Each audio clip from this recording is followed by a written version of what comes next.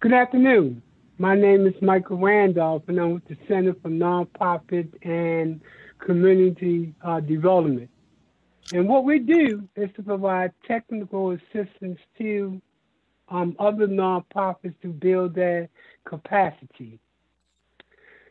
One of the things we do in terms of building capacity is to talk about the numbers and teach nonprofits how to understand the numbers, how to be able to read a financial statement, and how to create a financial statement.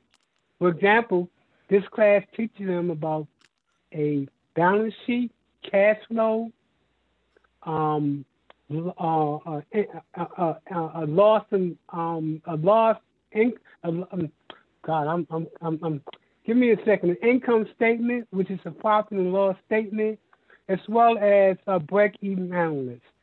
At the end of the day, what we teach on this financial management section is how to be able to read the numbers, produce the top financial information necessary in order to let people know your financial position.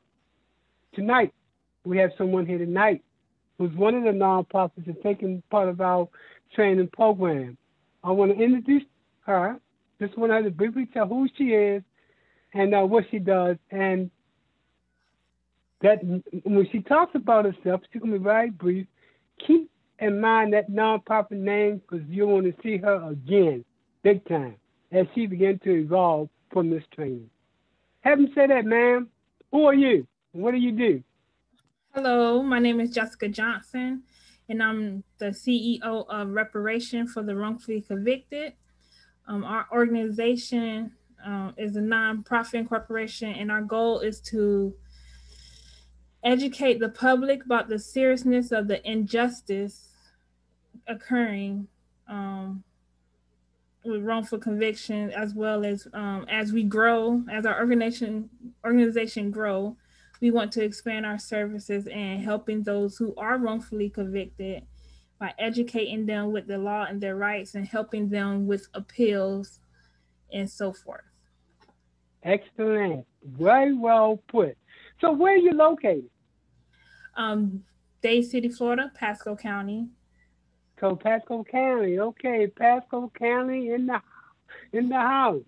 So anyway, before we start class, just to give a summary of what we talked about earlier, to those who are climbing in right now to look at this uh, Facebook uh, post, that it's um, it's all about the numbers. If you're a nonprofit and you don't understand how to read financial statements, you could be in real trouble. When you're talking to that banker, that lender, or that funder, you need to be able to understand your cash flow statement, your balance sheet, and your profit and loss statement, and all those other financial tools we call financial performance, so that you can articulate financially what it is and what position you're in. Again, this is part of ongoing training in terms of increasing the capacity of a nonprofit. The next class is part one of financial statement. Uh, that's going to be part of a three part class. The second part is going to talk about financial statement from a practicality, in which we're going to teach you actually how to create those uh, financial statements.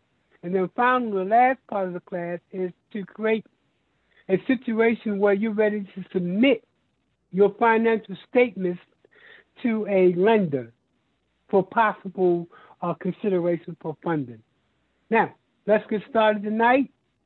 Um, I'm really admire what you're doing as a nonprofit because the service that you provided is very much needed. And we know a lot of pieces, people are in prison today wrongfully.